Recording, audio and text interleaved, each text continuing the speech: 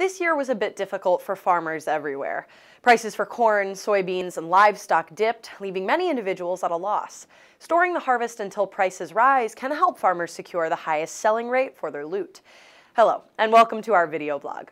Storing soybeans properly can assist farmers who want to maximize profits. On-farm storage of soybeans varies slightly from corn storage. During the winter, soybeans should be stored at 13% moisture or less. Farmers should invest in a storage solution that matches their unique needs. Winkler Structures works with each client to provide an appropriate and customized storage solution. From vents to breathable fabrics, Winkler Structures serves as the best solution. Thank you for tuning in.